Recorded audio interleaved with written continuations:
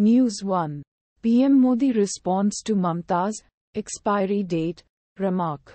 I am indestructible. I'm from Hindustan Times. News 2. Two cops suspended for not following protocol in Pune Porsche crash case NDTV. News 3. ICJ directs Israel to immediately halt military operations in Rafah.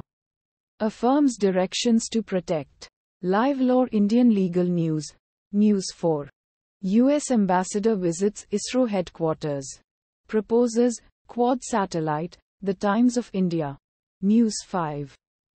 Bangladesh MP likely honey trapped before alleged murder near Kolkata. Key CCTV footage emerges News 18. News 6. Cyclone Remal warning. From landfall timings. States on rainfall alert and potential impact to IMD advisory. FAQ. Today News Mint. News 7. Lok Sabha polls phase 6 tomorrow.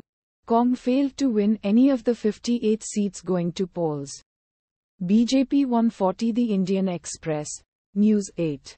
Decode Politics. PM Modi says he would have taken Kartarpur Gurdwara in 1971. Could India have? The Indian Express, News 9.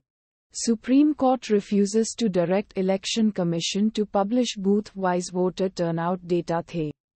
Indian Express, News 10. Arvind Kejriwal pa Bibhav Kumar slapped me 7 to 8 times. Called me, Neech Aurat. Swati Maliwal The Times of India automatically generated